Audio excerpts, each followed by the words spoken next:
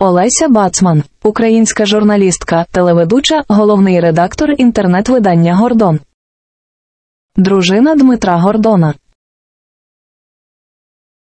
Добрий день. Доброго дня. Я дуже рада, що ви погодились дати мені інтерв'ю. Дуже вам за це дякую. Дякую навзаєм. Перше запитання, яке, ну, на мою думку, цікавить багатьох людей. Ваш YouTube канал створений у 2018 році. Чому ви вирішили взагалі його створити і, скажімо так, е, на такій платформі, як YouTube, розвиватися повноцінно? Тому що, в принципі, е, людство розвивається за такими знаєш, циклічними, циклічними правилами. І якщо спочатку е, люди їздили е, на конях, то потім вони стали їздити на машинах. Так і спочатку були газети, було радіо, потім було телебачення, а потім прийшов інтернет, ера епоха інтернету, і прийшов Ютуб. І ми. Я, я почну напевно, що з того, що ми у е, 2013 вибач, 13 році, це під час Євромайдану, ми створили сайт. Е, Суспільно-політичне видання Гордон, яке є одним з найбільш популярних українських е, видань. І е, уже у 18-му році е, я, я навіть ти знаєш, ти мені зараз нагадав, я не пам'ятаю, коли це було. Ну, ось бачу, у 18-му році е, я створила свій Ютуб канал, тому що в принципі е, я розуміла, що я хочу робити інтерв'ю паралельно. І е, я розуміла, що за Ютубом наше майбутнє, що і телебачення, е, і е, такі класичні програми, вони, як і газети, вони колись відійдуть в минуле, а в майбутньому буде Ютуб. Це не значить, що Ютуб буде і, і, і далі в майбутньому. Е, Можуть з'являтися нові платформи. Ми вже бачимо, що з'являються нові платформи. Ми вже бачимо, е, що для якоїсь аудиторії актуальніше зараз дивитися, саме якщо ми беремо відео, TikTok. Але TikTok то короткі е, в першу чергу форми, і то е, на ну, досить молода аудиторія, тобто така, яка там і 12, і 13 років, твої е, однолітки, так е, і, і ста, постарше також. І якщо ми будемо дивитися зараз на Ютуб, то починався він, в принципі, також для дуже молодої аудиторії, але розвивався, розвивався, і зараз в Ютубі ну реально слухай, і дідусі, і бабусі. І вони вже навчилися користуватися, і їм це дуже подобається. Бо що, що в Ютубі? Немає е, жодного там, знаєш. е, Ну, то, що за тебе вирішили, щось програма на сьогодні є розклад лише такий, лише ось ці вам в меню е, програми чи фільми, і дивіться або не дивіться. В Ютубі це свобода. Ти можеш вільно обирати те, що тобі хочеться саме в цей момент подивитися. І це прекрасно. І, і е, ти розумієш, ну е, все більше людей. е, Я, наприклад, е, серед моїх друзів, знайомих, я вже не знаю, от якщо провести опитування, у кого залишився взагалі е, телевізор. Або якщо він залишився у кімнаті, то його використовують, от як я. Я телевізор не дивлюся. Я на телеекран просто виводжу, коли мені щось хочеться подивитися на великому екрані. Я виводжу те, що мені треба з інтернету. Але от чи ви погоджуєтесь з тою теорією, що телебачення скоро відімре взагалі повністю? Ну про те, що е, телебачення скоро не буде, і треба йти в Ютуб і в інтернет. Е, ще багато років тому почав казати Дмитро Гордон. І він, е, він спочатку це і про газети казав, тому що він видавав одну з найпопулярніших українських газет Бульвар Гордона. А потім ми стали робити сайт саме тому, що ну це якби виклик часу. Розумієш, треба, треба все робити в той час, коли це актуально і є запит у суспільства. І ось те ж саме він почав казати з телебаченням про телебачення. Тоді, коли він це казав декілька років тому, я пам'ятаю реакцію людей. Ну здебільшого, вони казали: Та ні, ну що ви таке? Та такого не може бути. Ні, ну який Ютуб? Ну Ютуб це, це типу там ну для молодих людей, чи там для якихось, але ж телебачення, але ж телевізор. Він каже, ні, послухайте, ну я вам кажу, що буде так. І лише з початком широкомасштабної війни з Росією. А, в принципі, ну, війна ці велика війна, ці процеси прискорила. І зараз як ти сам напевно, що бачиш і спостерігаєш, на перший план вийшов Ютуб. Телебачення не дивиться в Україні майже ніхто. Ну реально це і опитування кажуть про це, і суб'єктивно, якщо казати про інформаційну бульбашку, ось там мою, наприклад, як яку я маю. Також можуть це підтвердити, і я ж кажу ще раз по опитуванням, тобто цифри, математика про це говорить. Що все пішло в Ютуб, дуже швидко, стрімко в Україні. Ну, якщо ми беремо зараз Україну, бо в світі там трошки інші тенденції, ми якби там ну доганяємо десь. Да? А от Ютуб зараз на першому плані, телебачення взагалі майже немає. Телеграм-канали як е, один з найшвидших. Тих е, джерел, е, де можна отримати інформацію, навіть якщо в тебе поганий інтернет, але такі короткі меседжі, їх можна е, швидко прочитати і загрузити. І сайти, сайти, інтернет-сайти. Так, але е, стосовно Дмитра Гордона, про якого ви зазначили, так як ви з ним познайомились взагалі? Я прийшла робити з ним інтерв'ю. Ось так я з ними і познайомилась. Яке було перше враження про Дмитра Ілліча? Ну, він дуже ну, такий е, е, людина, яка має шалену енергію. Е, яка може закохувати в себе з першого погляду. Ну я не маю на увазі зараз як чоловік, жінка, жінка в чоловіка, так а я маю на увазі суто по-людськи, як у, у персону, у особистість. Тобто, ти він він. А, Ну, як як це от, ти знаєш правильно підібрати слова? Тобто тобі з ним цікаво, і а, він а, вміє слухати. Це це дуже важливо, до речі, коли людина вміє тебе слухати, і коли людині цікаво те, що ти говориш. І е, дуже цікаво його слухати. Бо те, що він розказує, те, як він це розказує, це взагалі е, окремий, окремий жанр, окреме мистецтво. Якщо подивитись також на всі інтерв'ю Дмитра Ілліча, і потім подивитись на фотографії, які на сайті Гордон так опубліковані видання, там багато фото з вами також. Ви присутні про всіх інтерв'ю Дмитра Ілліча чи ні? Ну, не не, не на всіх інтерв'ю я присутня, бо просто ем, не вистачає фізично часу на це, бо в мене дуже багато моєї роботи, яка лежить виключно на мені. Е, але так, дуже на багатьох інтерв'ю я присутня, е, дуже багато, ну майже всі інтерв'ю я і організовую. І для себе, і для нього. Тобто, в цьому в цьому також е, є є моя допомога. А ви були присутні при інтерв'ю з Ходорковським? Ходорковським? Так. Е, ну, з Ходорковським у Дмитра є декілька інтерв'ю.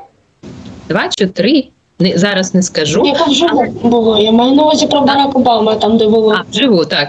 Але от я хочу сказати, одне з них було до Великої війни, це було е, у Лондоні, і е, там я теж була на цьому інтерв'ю. І я навіть зробила також е, міні таке бліц інтерв'ю для свого Ютубу з е, Ходорковським Михайлом.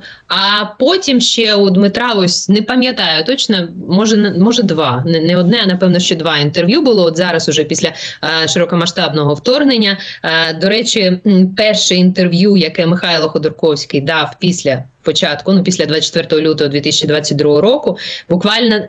Ну, пару днів пройшло це інтерв'ю. Він дав Дмитру Гордону, яке також цитувалося дуже масштабно, тому що там він ем, попросив вибачення у українців у всіх. Реально у нього з'явилися сльози, і він теж теж був в шоці. Ну як всі нормальні люди від того, що відбулося. Ну что, ребята, сейчас я вам покажу, с чем надо пить чай. Вот смотрите, что у меня есть. У меня в руках птичье молоко, гордон в шоколаде. Это вкуснейшее птичье молоко, ничего лучше в своей жизни я не ел. И вот у меня в руках зефир гордон. Поверьте мне, ничего лучше в своей жизни я не ел, и это правда. Вот посмотрите, они у меня на тарелочке. Вот они, птичье молоко и зефир. Вот такая красота. Теперь смотрите, что у меня есть. У меня есть чашечка. Обычная вроде чашечка. Вот я ее ставлю. Беру чайничек и наливаю в чашечку. А теперь будем смотреть, что будет происходить с этой чашечкой. Я наливаю кипяток. наливаю, наливаю, наливаю. Смотрите, что же с ней будет происходить. Ой-ой-ой, что с ней уже происходит, посмотрите. Вот она, чашечка. Кто-то там проявляется. Мне кажется, это я. Отлично, уже проявился. И теперь смотрите. Вот конфеточки. Да. Не, ну это бомба. И вот зефирчик. М. Это две бомбы. На здоровье, ребята.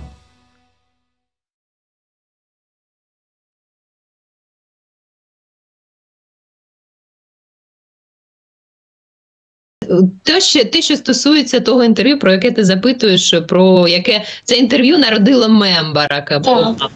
Так, вона була записана у Лондоні, і е, його подивилося. Я не знаю, зараз можна там перевірити, але напевно, що мільйонів 10, а може і більше. Я чесно не пам'ятаю, тому можна глянути. Е, цей мем Барак Обама. Е, знаєш, він став ну зовсім невимушено. Це було просто так. Ну так просто вийшло такий гумор, так Е, і Дмитро любить такі е, штуки е, вкручувати. Але просто е, цю штуку. Е, Аудиторія помітила. І знаєш, ну якби так буває, коли там хтось взяв це в окремий шматочок, вирізав, розмістив десь у Тіктоці, і воно завірусилося. І воно так завірусилося настільки, що, що цікаво, зараз скажу. Навіть е, люди е, твого віку, молоді дуже люди, які до цього, можливо, навіть не цікавилися політикою, не цікавилися. е, не знали, хто такий е, Дмитро Гордон, або хто такий Михайло Ходорковський, або що, що себе представляє фашистська диктаторська Росія. А в цьому інтерв'ю було про це і про те, е, е, скільки вже е, злочинів. Зробив навіть до цього моменту Володимир Путін, і там було дуже детально описано, що себе уявляє це зло Володимир Путін. Путін. Навіть ці молоді люди завдяки цьому мему, який от мем побачили, їм сподобалось. Е, Їм сподобалось, ну. Да, от як це було? Їм сподобалось, що Дмитро сказав, що там вони пішли подивитися це інтерв'ю. Це мені просто от розповідали ті, хто це бачив. Вони пішли і вони залипли, і їм стало цікаво. І вони стали цікавитися, що ж відбувається. Вони підписалися, вони стали читати, гуглити. Е, тому здавалося б, такий просто ну жарт, а він е, має такі е, е, правильні наслідки. Дуже багато інтерв'ю, ну декілька, так, з Євгеном Комаровським є у Дмитра Ілліча і вас, так. І чи друзі ви з Комаровським? Так, бо багато дуже інтерв'ю, і такі видно, це що це, ну, якщо не дружні, то дуже теплі, так, інтерв'ю. Ну, я маю надію, що так. так, ми, ми вже багато років дружимо. А, Євген Олегович. Та ну одна з е, найталановитіших особистостей, яких я знаю в своїй сфері. Реально він е, зробив дуже багато для української медицини, для української педіатрії. Е, Я навіть більше скажу для української психології, для того, щоб лікувати людей і, і словом, і ділом, і, і дітей. І я. Як мама зараз можу сказати трьох маленьких ще доньок, що е, я просто за його порадами, е, які є реально безцінними. Я періодично звертаюся і е, завжди, от скільки разів це не було, завжди це просто знаєш там в десяточку. Е, ну він реально людина на своєму місці. А він дуже багато робить для України, для своєї держави. І е, як е, лікар, як популяризатор, як е, особистість, яка в публічному просторі має такий вплив і таку вагу, і може розмовляти з аудиторією. Тому що навіть коли, ось, якщо ти пам'ятаєш часи ковіду, і була така страшенна розгубленість у більшої частини суспільства, то він взяв на себе ту саму місію по і заспокоюванню, і розтлумаченню, і, і це було його відео, з'являлися реально і у нього на каналі. Ми інтерв'ю тоді декілька прямо так великих зробили на цю тему. Його відео з'являлися просто кожного дня, а то й по два відео, які розказували, бо була просто реальна паніка. А він так спокійно, методично розказував і, і, і показував, як і що треба робити. На вашому каналі є постійна рубрика а, підсумки тижня, так, з Савіком Шустером. Чому вирішили зробити таку постійну рубрику і чому саме з Савіком Шустером? Ну, Тому що всі звикли, що Савік ем, в своєму амплуа, в своїй професії та людина, яка в першу чергу слухає. Слухає, а не говорить. І е, для мене це завжди для мене, як для людини, яка пропрацювала з Савіком у команді Савіка. А скільки ж це? 6 чи 7 років? Для мене це завжди було такою великою несправедливістю, бо я то його слухала, я то знаю, які а, думки у нього, які, який аналіз він робить, які історії він знає, а, як це все він а, ем, розказує через призму свого досвіду, величезного досвіду. І це завжди дуже цікаво. Його висновки нестандартні. От якщо ти зайдеш е, і погуглиш там якийсь а, та, якусь трендову новину, яку обговорюють всі зараз, і подивишся на висновки, то ти будеш 90% бачити от однаково. Всі говорять, хтось там підхопив, і всі отак думають. Савік це майже завжди. Трошки інакше, інакша точка зору.